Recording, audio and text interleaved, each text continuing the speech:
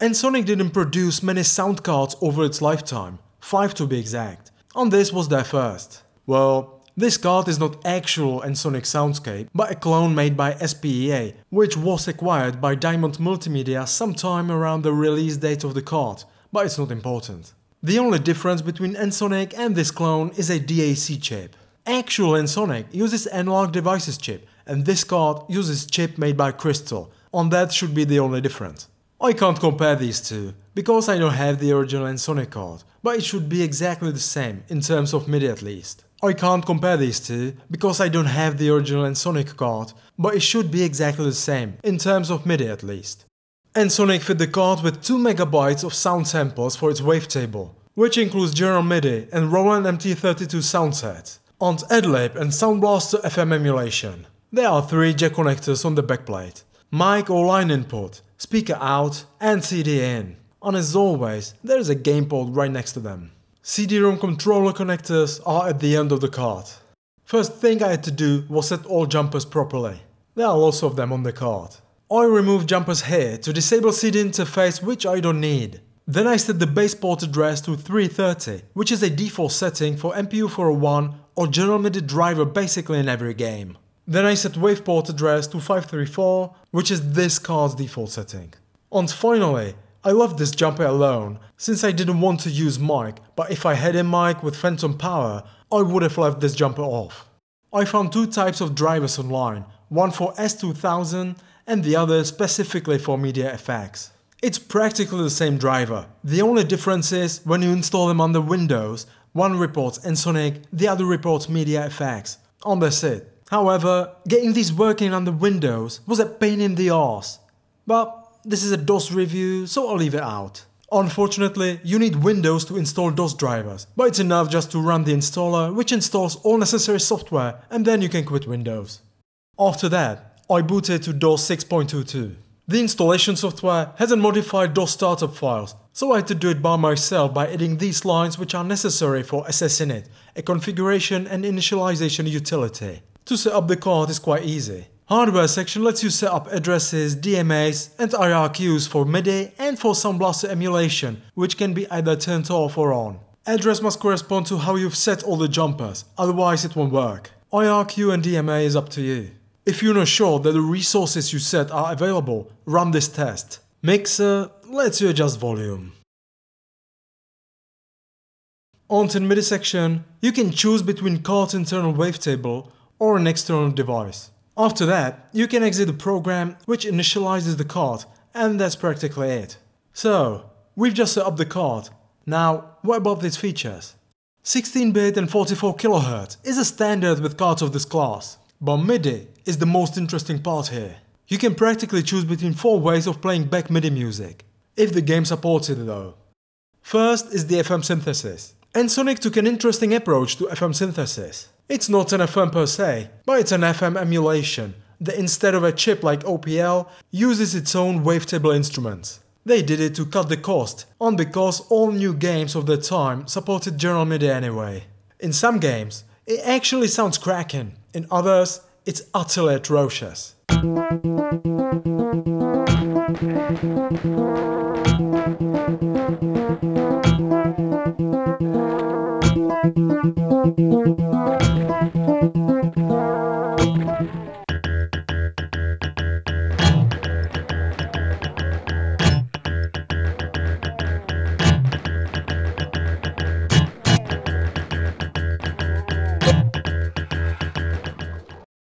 Second is Roland MT32 emulation. The cards got soundsets specifically for MT32 emulation, for which you need to load specific driver that makes use of these soundsets. So, it should sound very similar to the actual MT32, but does it?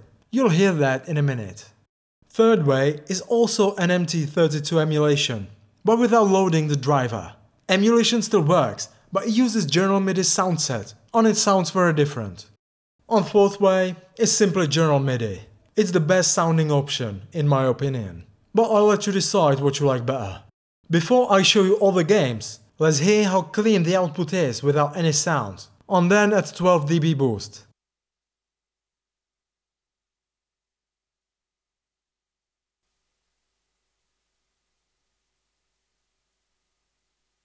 Now, finally the games. First, I want you to listen to the difference between those four types of MIDI music you can get out of this card. For this, I use Dune 2, which has real MT32 support.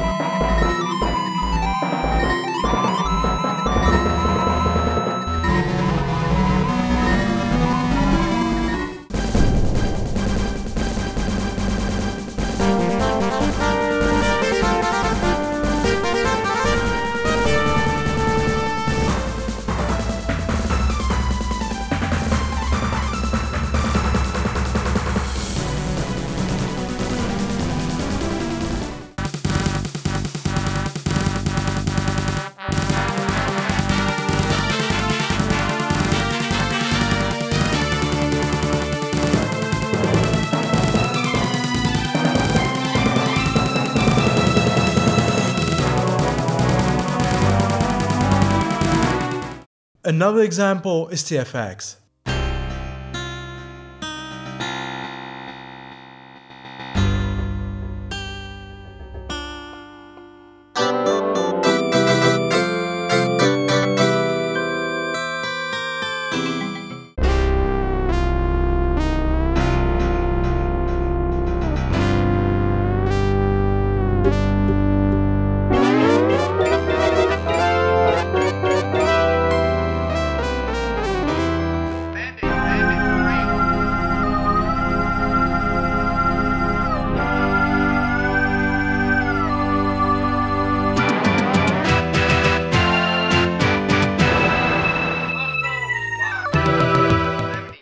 Some the games don't support general MIDI, only FM, so you're stuck with this kind of emulation.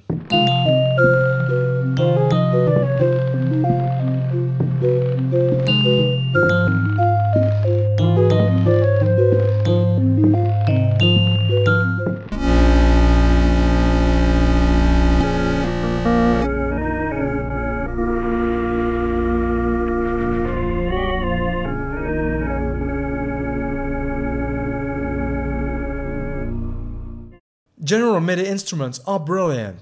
These games sound terrific.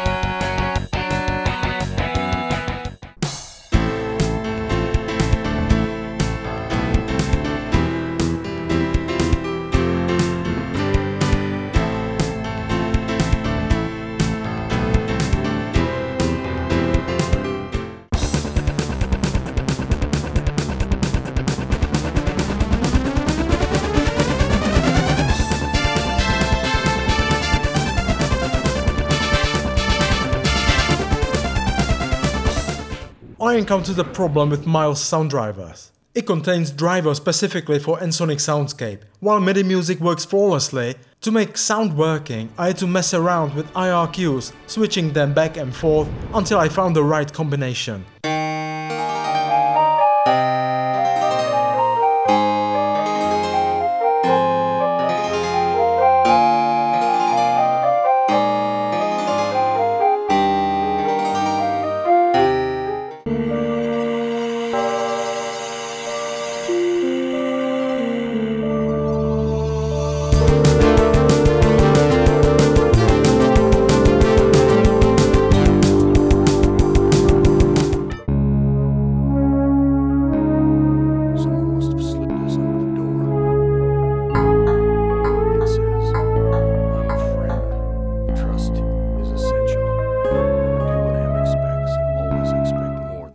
Similar problem with Bioforge, but this time music didn't work until I changed IRQ.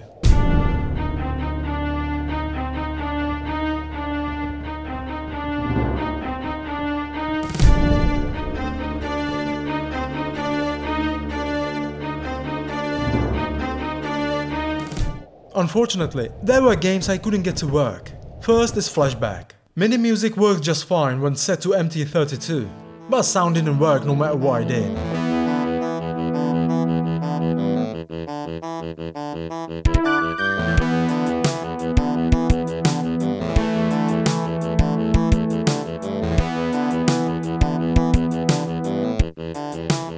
Sounds in Duke 2 didn't work either. Again, music worked just fine, but I could enable sounds only for Adlib or PC speaker, no Sound Blaster.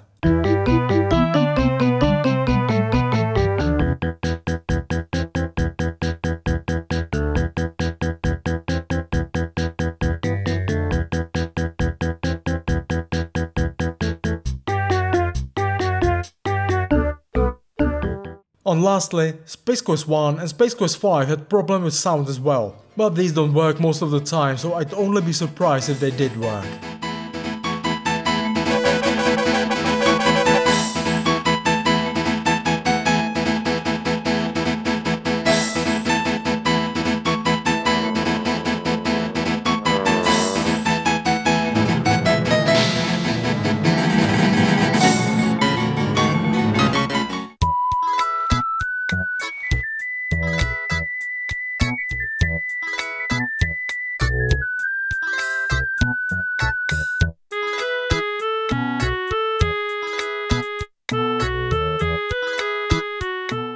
And the rest is just fine.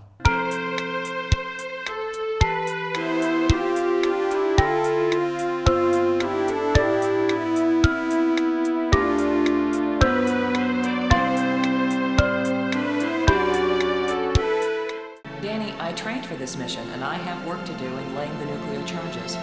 When I come home, I'll be a reporter and tell you all about it. But during the mission, I'm part of the team obey Commander Low like any good soldier. That may be the biggest news story of all. Maggie Robin. long avatar.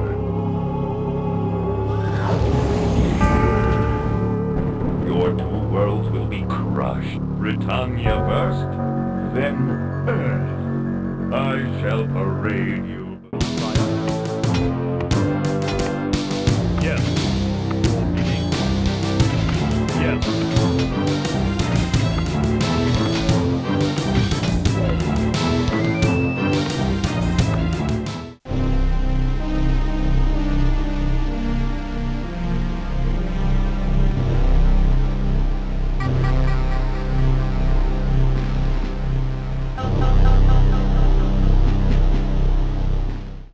It wasn't a torment, no more than our ISA sound card. This is an excellent card that's quiet, has a brilliant wavetable when used in general MIDI mode, and works in almost all games with almost no effort. This is one of the best sound cards I've laid my hands on. I wonder how Ensoniq Soundscape Elite sounds. Unfortunately, I don't have one. I saw S2000 listed on eBay for £90. Not cheap, but it's not that expensive either. From now on, it will only get more expensive I reckon. I've also uploaded some soundtracks from this card, check it out in the description, and maybe you'll like how it sounds and you'll get the card for yourself. Catch you later in comments, you take care, bye for now.